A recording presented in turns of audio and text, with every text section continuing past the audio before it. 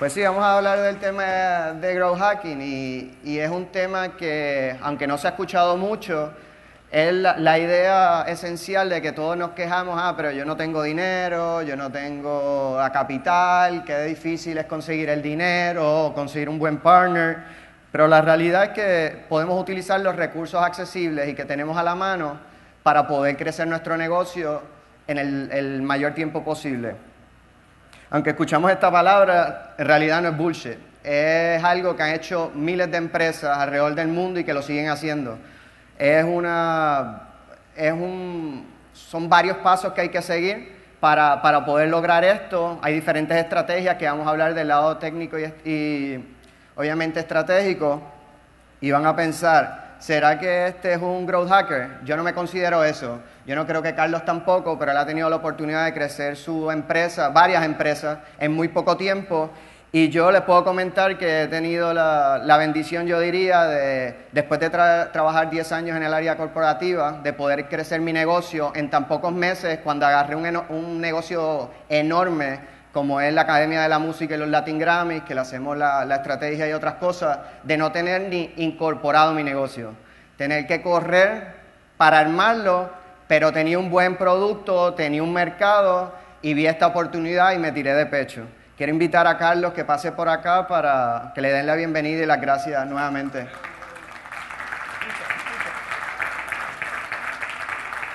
Sí, sí, escucha. Ahora sí. sí. Eh, quiero empezar con este quote que es Make Stuff People Want, que este es de uno de los cofundadores de Y Combinator.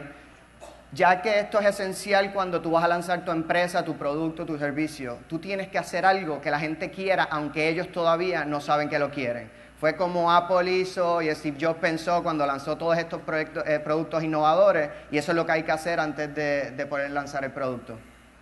Yo creo que de lo que él habla es, eh, yo lo dije esta mañana, eh, Product Market Fit. Y Product Market Fit es contestarte a las tres preguntas. ¿ok? Si hay un problema, ¿ok? hay una solución, ¿ok? y hay, una, hay un mercado que está dispuesto a pagar por tu solución. Product Market Fit. Es, es como que bien sencillo, bien, bien sencillo, bien lógico, pero es donde muchos de los startups se equivocan. Eh, no sé si vieron la charla, la, el, keynote esta mañana, donde yo hablé de las razones de failure, de las 20, y dije la tercera es el equipo, la primera es market. Es que no hay un mercado que esté dispuesto a pagar por tu solución para resolver el problema. Entonces, entonces se llama Product Market Fit. So, tú tienes que validar eso, ¿no? Entonces, el crecimiento, el crecimiento de un producto o tu startup eh, empieza con un producto correcto. Empieza con un producto correcto y las estrategias de growth, mark, de, growth hacking empiezan con eso. ¿Sabes? Yo te puedo decir, es como yo decirte, eh, bueno, tengo una nevera, ¿ok? Y esta es la mejor nevera, pero si no funciona, es una mierda, ¿entiendes? ¿Sabes?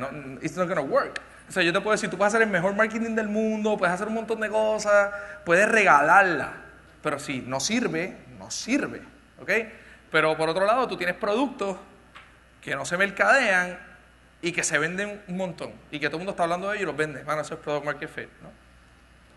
Sí, en ese caso hay, hay varias posibilidades. Antes era este mercadeo tradicional, que la gente iba y todo tú lo veías, o te, te lo tiraban en un comercial, o lo veías en un billboard, escuchabas un spot de radio. Pero todo eso ha cambiado. Hay grandes posibilidades hoy en día y de algunas de ellas son las que vamos a hablar. Antes del marketing, volvemos. Yo creo que nosotros como marketeers, y me incluyo, eh, abusamos de la gente. Hicimos unos mensajes para persuadirlo, recurrimos al humor, recurrimos al sexo, recurrimos a, un montón de cosas, ¿tú sabes por qué? Porque vende, vende, vende, vende, vende, vende, vende. Y entonces cuando empiezas a utilizar el marketing y el marketing dollars y la radio y la pauta y la pauta y la pauta, bueno, tú renuncias al principio de resolver el problema de un cliente. Entonces, ¿qué es lo que ha pasado? Lo que está es cambiando, el tipo de marketing ahora ha cambiado completamente, de push a pull. ¿no? En vez de empujar un mensaje, tú tienes que ellos te busquen a ti. De outbound a inbound. De product centric, vamos a hablar del producto, a customer centric, vamos a hablar del cliente. ¿Ok? ¿Sabe? El enfoque ahora es poner al cliente en el centro, escucharlo. ¿Se acuerdan el primer keynote que era, tú sabes, need, o los core values, listen, listen, listen to the customer. El Lean Startup Methodology, tú sabes, hack, play, learn, iterate again, es lo mismo. O sea, tienes que poner a los clientes en el centro de todo. ¿no? Así que tú puedes tener cero marketing dollars, tú, estás en, eh, tú tienes, no tienes chavo, nada, absolutamente nada, pero si tu producto está brutal, mano, se va a vender por word of mouth. ¿Me entiendes? Esto te lo digo, yo hice, empecé, eh, eh, una de mis empresas fue Empire Entertainment y hacíamos party y no teníamos chavo, no teníamos chavo. El primer, el primer evento nos dio trabajo, pero cuando la gente llegó viví una experiencia memorable y de ahí se lo dijeron a muchas personas y de ahí pues empezamos a conseguir un, un cult following. Y eso fue lo que nos ayudó y no teníamos dinero. Sí, entonces hay un montón de estrategias de seguir para esto del growth hacking. ¿Sabes? Una de las cosas de cuando tú hacer growth hacking es que la estrategia no es branding, es crecimiento. O sea, no es mi marca, mi marca, mi marca, es cómo tú crear crecimiento de tu producto. Ese es el enfoque. Y crecimiento significa más usuarios, ¿no? La idea es bien básica, es atraer, una vez los tienes, es deleitarlos enamorarlos y luego retenerlos con el propósito de que ellos te ayuden a vender más. Yo siempre pregunto, eh, mano, ¿tú tienes un negocio? No, tú tienes negocio. ¿Quién es tu mejor cliente? El mejor, el mejor de todos, de todos. ¿Quién es tu mejor cliente? ¿Ah? El que me compra todos los años. Wrong. Eso es lo que todo el mundo piensa. Wrong. Tu mejor cliente no es el que te compra todos los años, es el que te vende todos los años. Es el que te vende. Ese es tu mejor cliente, el que te vende. Sounds strange, pero word of mouth. O sea, un cliente satisfecho, ¿qué va a hacer? Te vende. Y eso es Net Promoter Value. ¿Ok? Net Promoter Value. El promoter. The best customer is your best promoter. ¿Ok? Es cuando te preguntan en una encuesta, esta es la mejor métrica de todas. Tú puedes tener métrica financiera, contabilidad, los números suben, bajan. Cool. Si esta métrica está cabrona, tus números van a estar brutales. ¿Okay? Porque esta métrica lo que dice es, en una empresa que te pregunta esto, ellos están midiendo el Net Promoter Value. Este dice, del 1 al 10, ¿cuán inclinado está usted a recomendar este producto? Eso es Net Promoter Value. Esa es la métrica más brutal. Tú puedes tener un KPIs, puedes tener performance metrics brutales. Esta es la más salvaje. ¿Okay?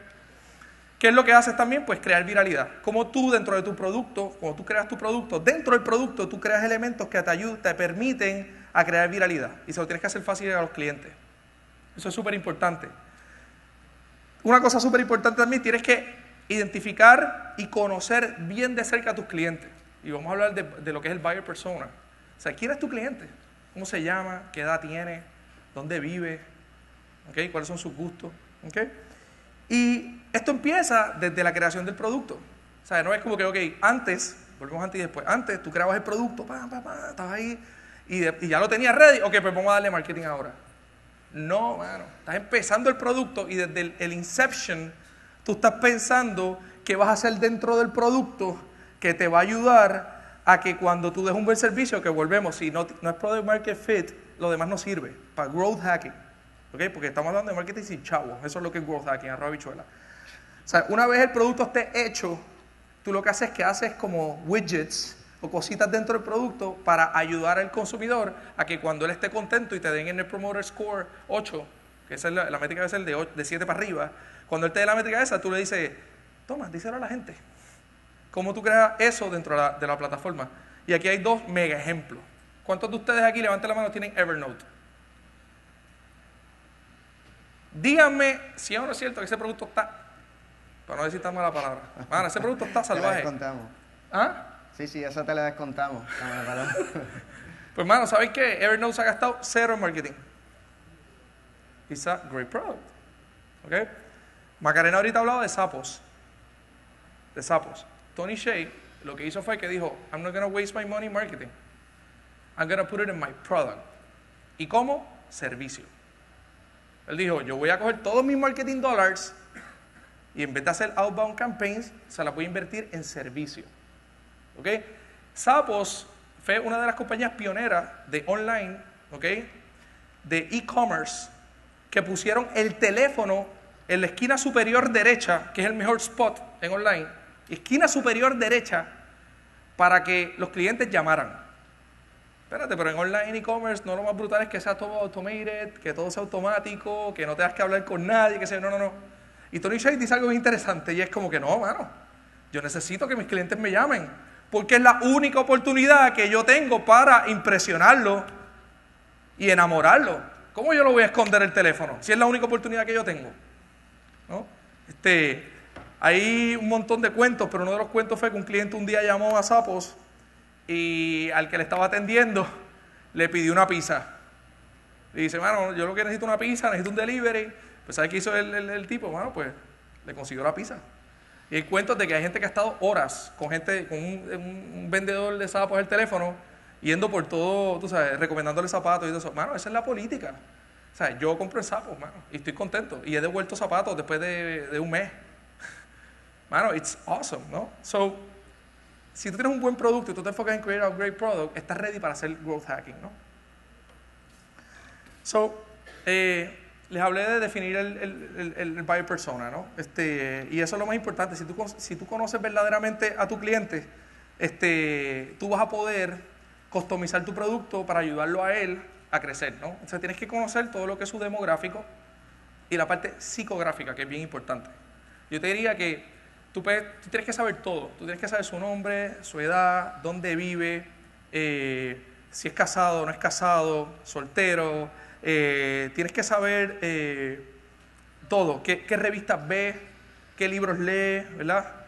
todo eso. Pero la cosa más importante que tienes que saber, lo más, más, más, más, más importante son dos cosas. Dos cosas. Sus metas y sus problemas. Tú tienes que hacer tu buyer persona. Y tú tienes que decir, ok, ¿cuáles son las metas de mi cliente? ¿Qué es lo que él quiere lograr? What he, what he wants to achieve. ¿Ok? ¿Y cuál es su problema mayor? Una vez tú conozcas eso, tú verdaderamente vas a saber si tú tienes un product market fit. ¿Eh? Porque tu producto tiene que ayudar a la persona a llegar a sus metas y ayudar a la persona a resolver su problema. ¿Ok? Si quieres hablar un poquito de propuesta de valor. Sí, acá se trata de decir cuál es el problema, o sea, saber de tu producto qué lo hace diferente al otro. ¿Cuál es ese problema? ¿Para quién es este producto? ¿Qué provee ese producto? agua. ¿Tienes agua ahí? Agua. ¿Cómo se diferencia de la, de la competencia y se posiciona? ¿Cómo, cómo, cómo este producto le encantará a la gente? ¿Cuál es el modelo de negocio? ¿Y cómo beneficia a, tu, a tus clientes? Cuando tú tienes eso, tienes la oportunidad de tú saberlo en palabras sencillas, que en cualquier momento alguien te pregunta lo que es el famoso elevator speech, que tú puedas en 20, 30 segundos o un minuto poder contar tu producto, tu servicio de manera sencilla. Eso es, no es lo más fácil, es trabajoso, pero a la vez que tú entiendas eso, se lo puedes vender a cualquiera.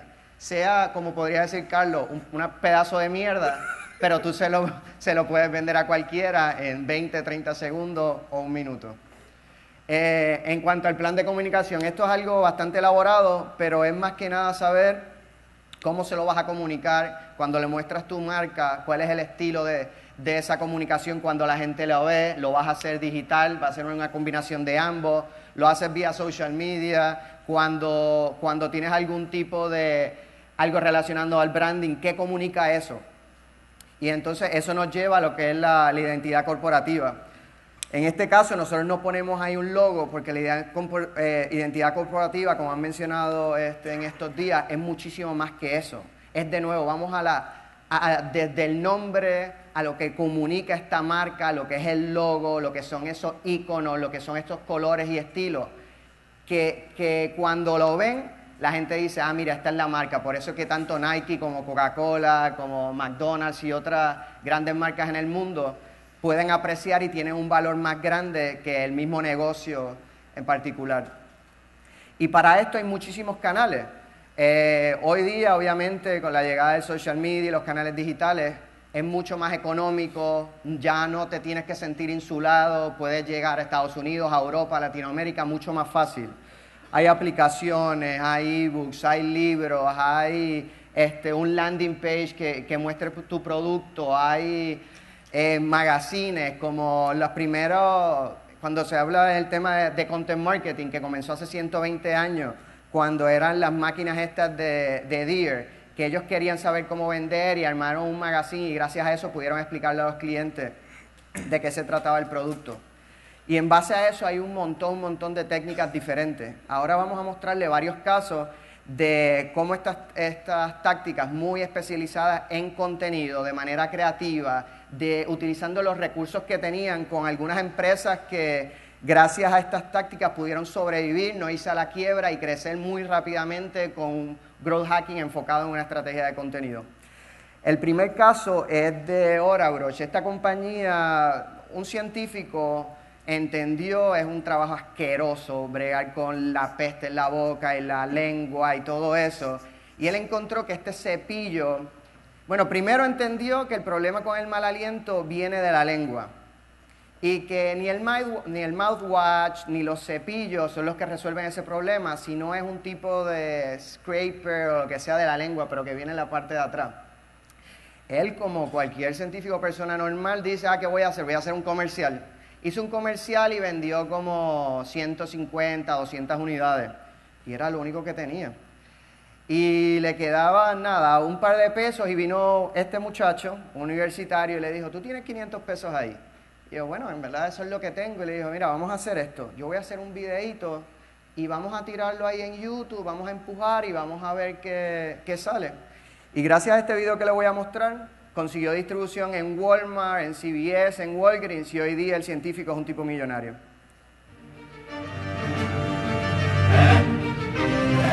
Halitophobia, the irrational fear of bad breath. I'm a halitophobic. I'm not so much afraid of me having bad breath, I'm afraid of other people having bad breath. As in, hey buddy, your breath smells like crap. Maybe you should develop a case of halitophobia. Now I know what you're asking. How do we know if we have bad breath? You use this. You use a spoon. Now I know what you're thinking. A spoon, you eat with a spoon, you play spoons. You spoon your girlfriend. You take the spoon, you take the spoon and you stick it at the back of your tongue and gently scrape. Let it dry, and take a whiff. If it stinks, your breath stinks. And if your breath stinks, this is the only kind of spooning you're going to be getting. The smart viewer out there will note to check your bad breath, you notice that we checked our tongue. 90% of bad breath comes from bacteria and residue on the tongue. On your tongue. Now, your mom doesn't sound so stupid for telling you to brush your tongue, now does she? Tongues are like sponges, soaking up all that bacteria. Toothbrushes are meant to clean the smooth surfaces of your teeth not your tongue. And the tongue scraper, you remember the sponge, right? The tongue scraper just goes over the top of your tongue. This ain't gonna work. And mouthwash? This is like trying to clean your carpet with a hose. You're just watering down the problem. And then there's the option that actually works. This, the Aura brush. The soft bristles feel great on your tongue. You just go back and forth a few times, then go all the way back, pull it forward, and see what comes off. Cure to bad breath. You can use this longer than your toothbrush. Use it in the morning, eliminate morning breath, fresh breath all day, yeah, yeah, and then use it at night, right before bed. Hmm? You know what I'm talking about, yeah? So do you and me and the rest of mankind a favor, get one of these. And your Uncle Steve, the one who looks like he's got a thick coat of fur on his tongue, get him one too. Put it in his Christmas stocking. He'll thank you for it later. His wife will, the kids will, everybody will be happier, trust me. Get your first Aura Brush free at aurabrush.com slash free. Otro caso muy interesante es el caso de Magnolia. No sé si conocen esta marca acá, pero Magnolia es un, es un espacio que está normalmente dentro de las tiendas de Best Buy, con un poco más de customer service, productos high-end. Esto es una empresa que comenzó hace 50 años. Era más que nada una empresa dedicada al tema de fotografía. Después comenzaron a vender electrónicos y después de 40 años ahí en ese challenge, en el día a día, estirando cada un peso, eh, vino un amigo de la familia y le dijo, ¿por qué tú no comienzas un blog? ¿Por qué tú no comienzas a hablar online acerca de tus productos, acerca de tus servicios? Gracias a eso, 18 eh, meses más tarde, Best Buy los compró por 87 millones de dólares. Este es otro caso muy interesante, no sé si conocen la compañía Open English. Open English es una compañía que enseña a latinos o hispanohablantes cómo mejorar no solamente su inglés, sino la pronunciación. Eh, esto, esto sale por Andrés Moreno, lo comenzó, es un muchacho venezolano que la comenzó como a los 23, 24 años. Y él mismo, porque no tenía recursos, estaba bien pelado, pero tenía esta visión, comenzó a actuar en estos videos. Y gracias a esto, eh, yo creo que hace tres meses terminó un round y ya lleva 100 millones de dólares en capital que ha recaudado. Entonces esto es algo que creo que vale la pena.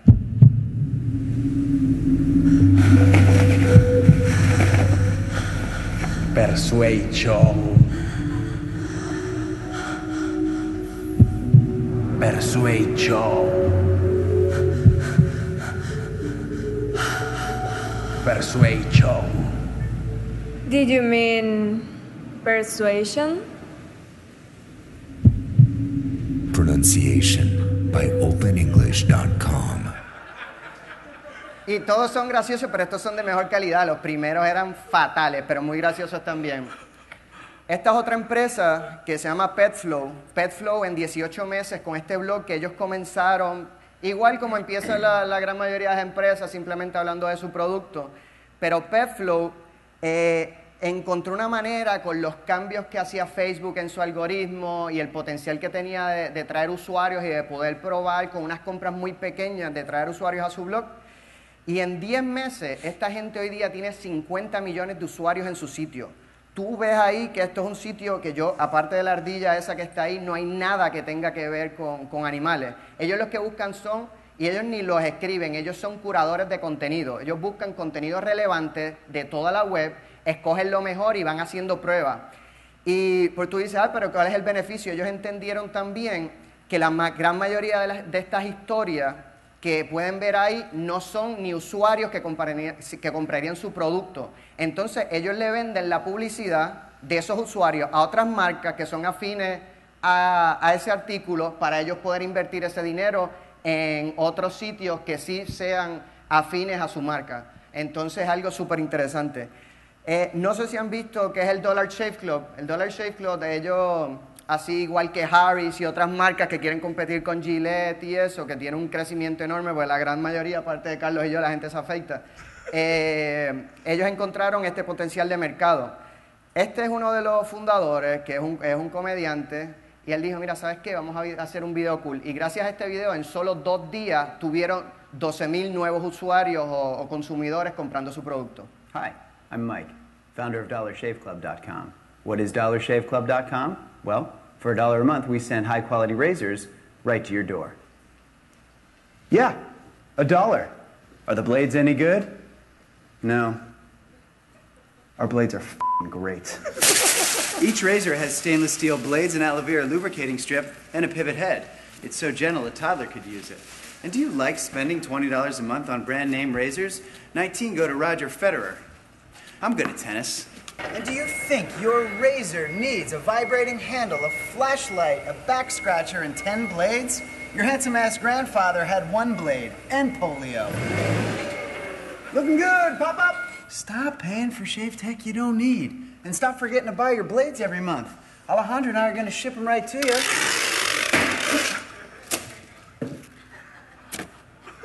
We're not just selling razors, we're also making new jobs. Alejandro, what were you doing last month? Not working. What are you doing now? Working. I'm no Vanderbilt, but this train makes hay. So stop forgetting to buy your blades every month and start deciding where you're going to stack all those dollar bills I'm saving you. We are DollarShaveClub.com, and the party is on.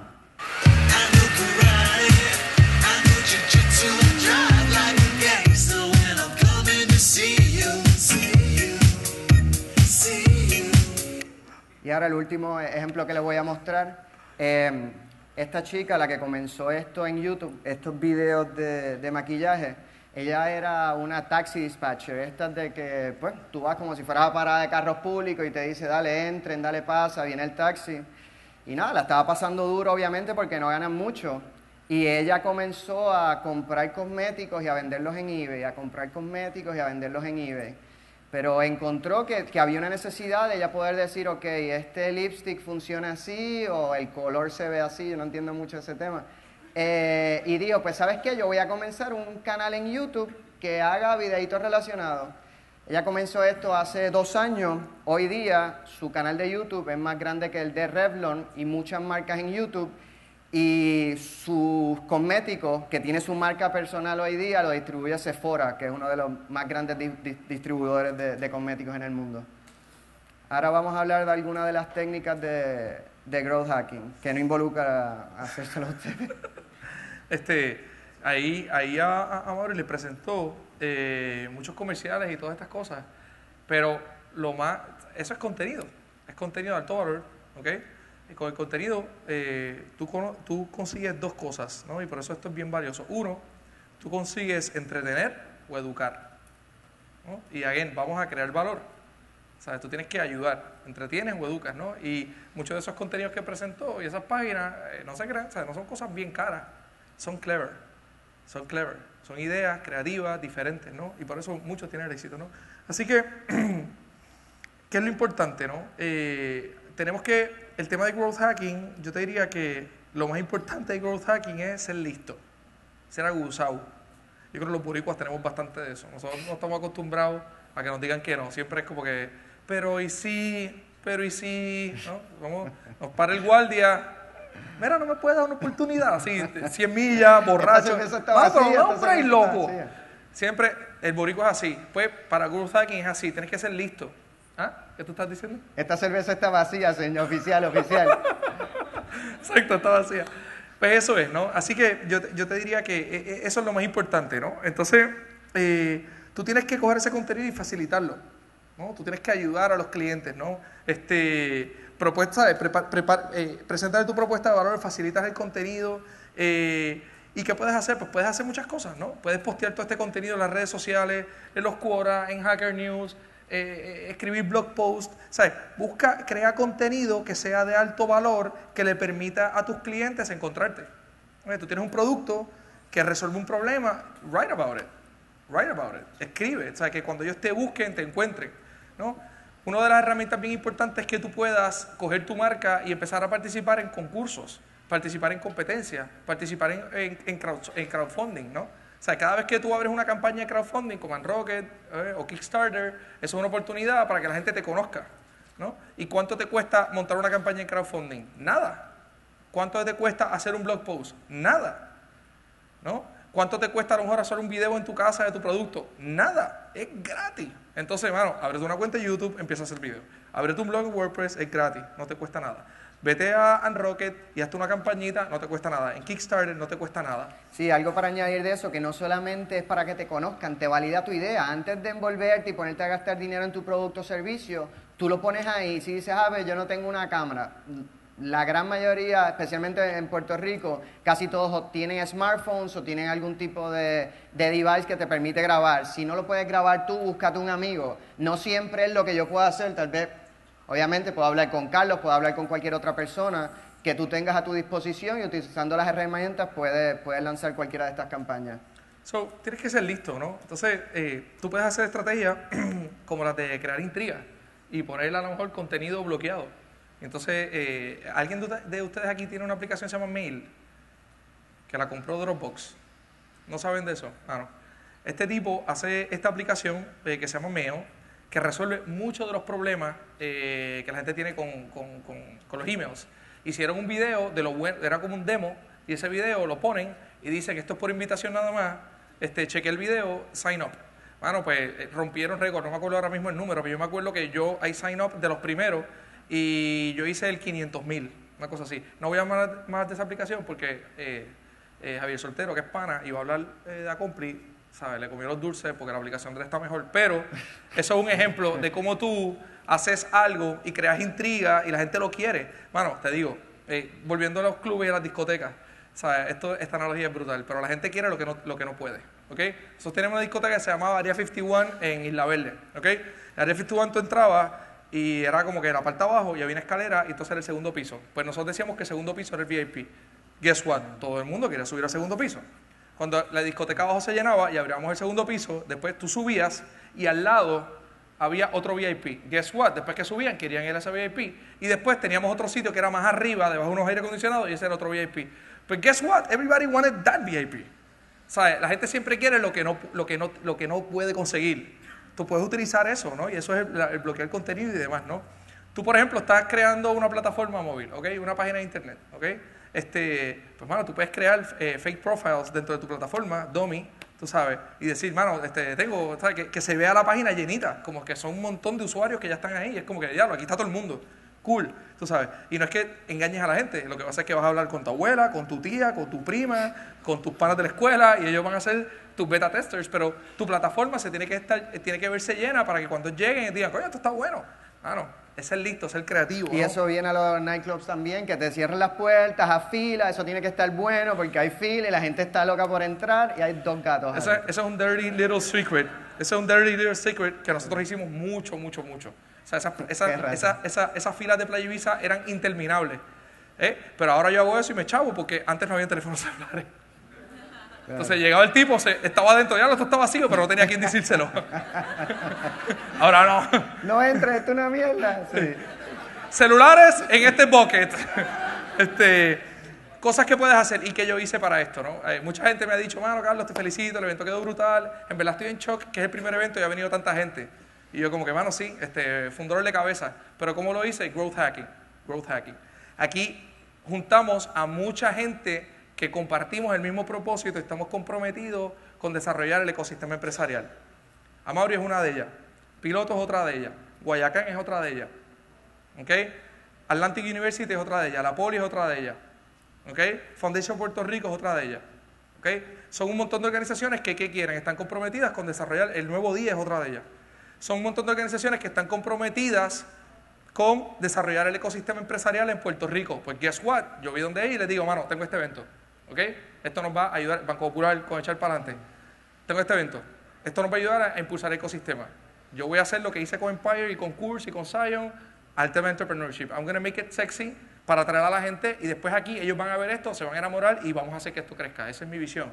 Bueno, ¿qué hice con esta gente? Hice alianzas estratégicas y colaboraciones. And guess what? Ellos me ayudaron a promover el mensaje. That's growth hacking. ¿Cuánto me costó? Nada. Nada. ¿Eh? Me va a costar ahora. Pero ¿qué, qué va a pasar? Ellos me van a pedir lo mismo y yo voy a decir, cuenta conmigo, Claro. te voy a ayudar. ¿Ok? Eh, su alianza estratégica es clave, hacer eventos, torneos, happy hours, tú sabes, eh, invitar gente de la industria.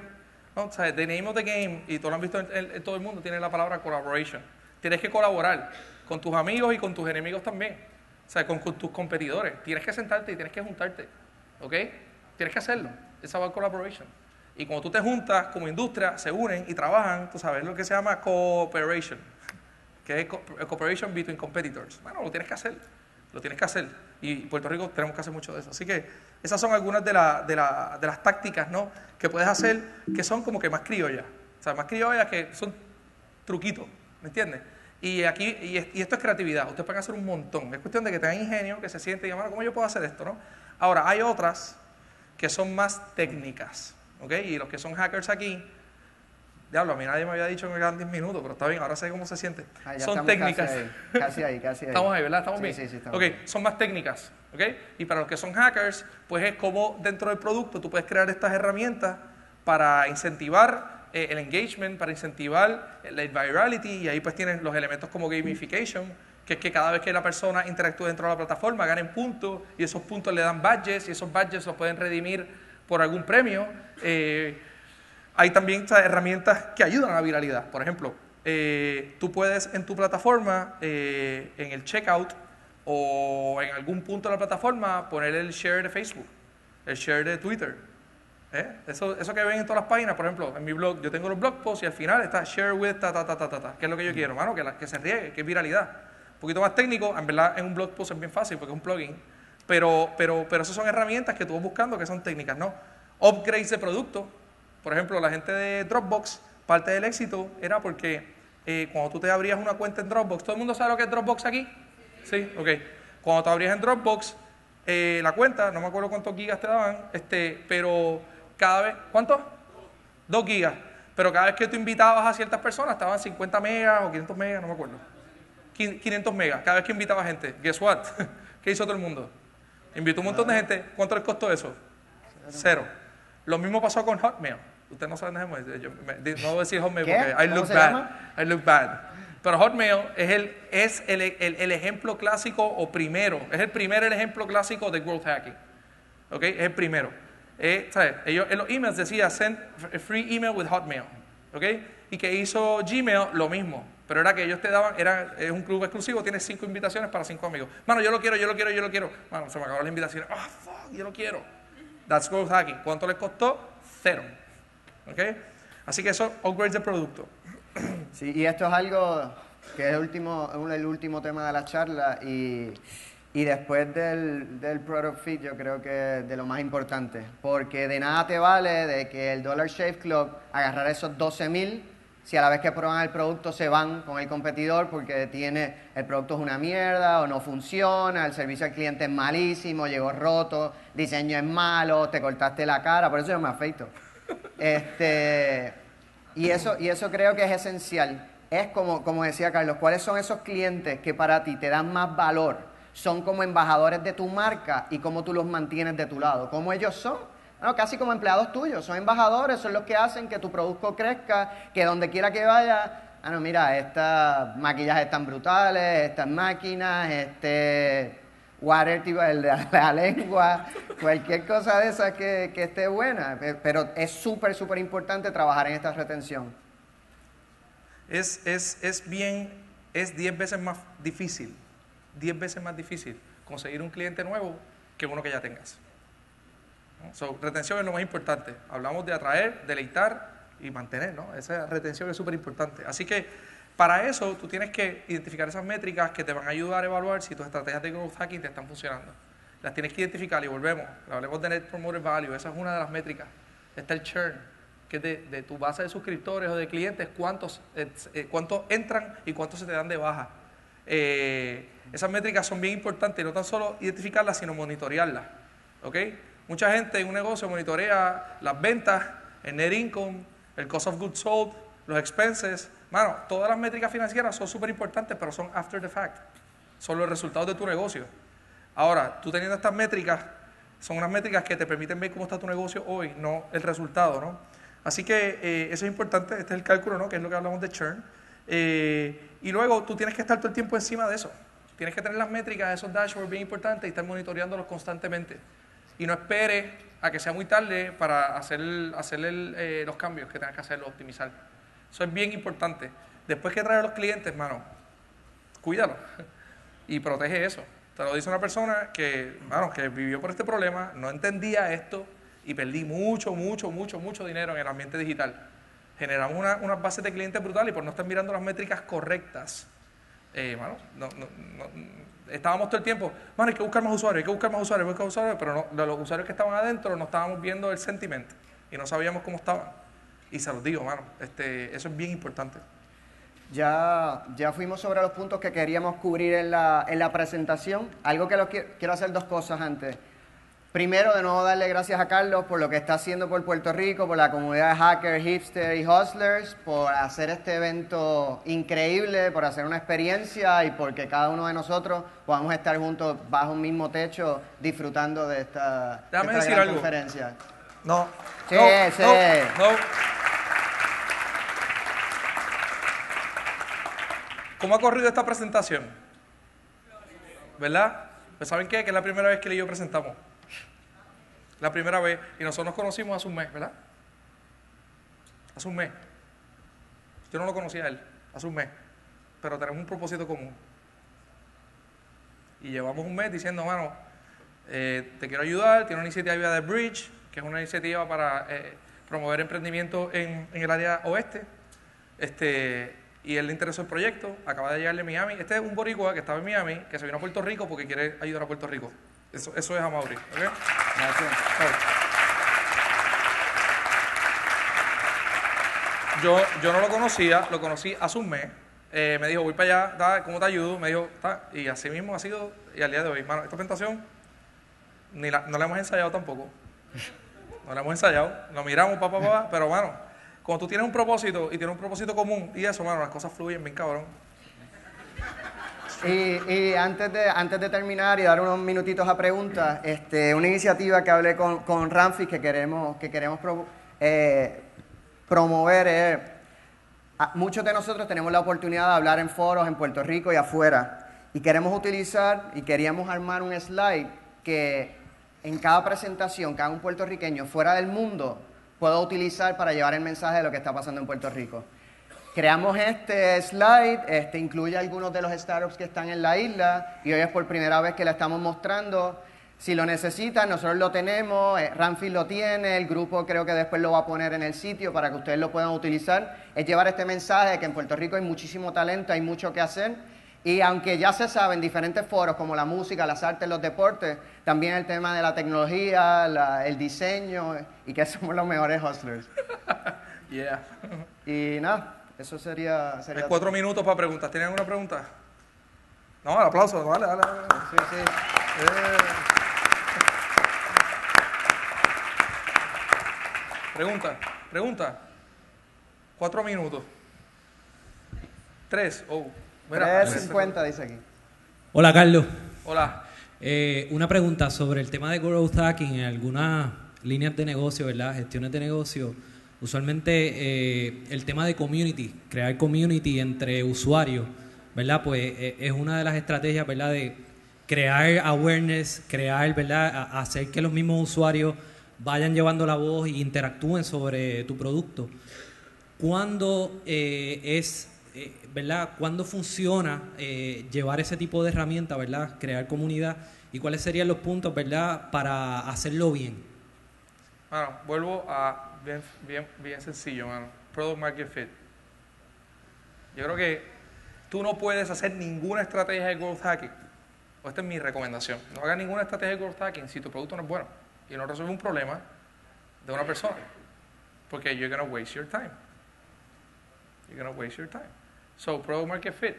Pues una comunidad, tú sabes, que tu producto está atado con esa comunidad, good.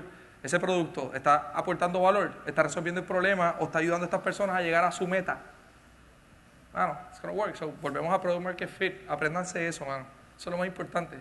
Y crear valor. It's about creating value.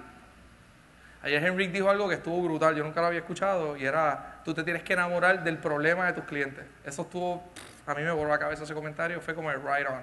Y es como que, mano, I'm passionate. Y yo te lo digo con esta conferencia. O sea, para mí esto ha sido trabajo. Estoy cansado, pero ha sido trabajo. Why? Because I'm passionate about fixing entrepreneurial ecosystem en Puerto Rico, ayudando a colaborar. I'm passionate about that. Y por eso, mano, estoy súper confiado de que voy a meterle y le voy a seguir metiendo mano. O sea, que yo te digo que piensa en el, en el en el cliente y el product market fit. Otra pregunta. Ninguna pregunta. Un minuto. Un minuto. Otra, otra, otra. Nos Nadie. vamos. Nos vamos. Todavía hay muchas cosas por cubrir. Ajá. far in advance did you plan this wonderful conference? No, I, I can hear. Ajá. Okay, um, good afternoon. I'm curious how far in advance you planned this wonderful conference that has brought us all together, and I thank you for your Okay. efforts. Uh, so really, what happened? How was? So it's a little bit of the story, you know. Uh, I had I, I had this in mind. Uh, it started in November last year, so it's it's exactly one year. That's why the Strategic Minds team uh, bring a birthday cake at the opening of the conference. It was one year ago. I had this idea. I used to be in this industry, in the event industry, with Empire Entertainment and everything. I went to the tech business, you know, but really I love this. So uh, I had this idea, but I had no team. I had no, nothing. I had nothing. I had just an idea and a vision, you know. So I went to this friend, which is Eve Lugo, which is around here. Uh, she has a company called uh, Strategic Minds. It's a wonderful strategic uh, marketing company. Uh, they don't do events. Uh, that's not their core right now, but they have a lot of experience in events. They're doing. I, I took them a little bit a part of that, but I told them about the idea about this and their vision is also help companies grow with, with strategic marketing and doing all kinds of stuff. You know. So I just uh, told them, hey, hey, uh, I have this idea, this and that. I started doing my page, boom, boom, boom, boom, boom, boom, you know, and like I told her, we have to do it, you know, and she got excited and she said, like, you know what, Carlos? Yeah, let's do it. So that was in November, and then uh, we started in December, and then I got the proposal on January, and then February, and I started going out and selling like crazy, you know, and, and hustling, but you don't know, hustling one on one with many people because I had to, it was like selling the vision one on one to people, selling the vision one on one to uh, stakeholders, selling the vision to sponsors, selling the vision to the Hilton for them to give me a good rate. It was like hustling all the way, you know. And then in, in I say that uh, like in, in June, I got everything figured out, and then, you know, so this this is startup right here. You know, I, I'm exhausted. But it's, a fun, it's been a fun ride, but it's, it's a year. This event, it was a year. Putting all the speakers together, getting all those talents. You know, the people that are here, uh, they're very expensive. Bringing them here, they're very busy. You know, you have Donna, she's a CEO. She, she's like 2000, you know, Inc. magazine said, you know, she's one of the 10 women to watch in 2014. You know, she's, she's a Stanford professor and a CEO. It's very tough. It's very hard. But she, I call her and she's like, Carlos, I'm on it. I like your plan. Let's do it. Let's let's make, let's make. I remember his uh, her her uh, word was I like I like your wave. She says that in, in countries there are waves. You create waves, and it's like I'm gonna help you build your wave. Awesome. Bill Olet from MIT, the, the same. You know, it was tough. He he was a tough one. But again, he said like I like it. I stole the hacker hustler, uh, hustler from him. His concept, you know. At least you know he. That's the first time I heard it. So it took time, but uh, but but I'm I'm happy. Another question? Thank you. Ha ha ha ha!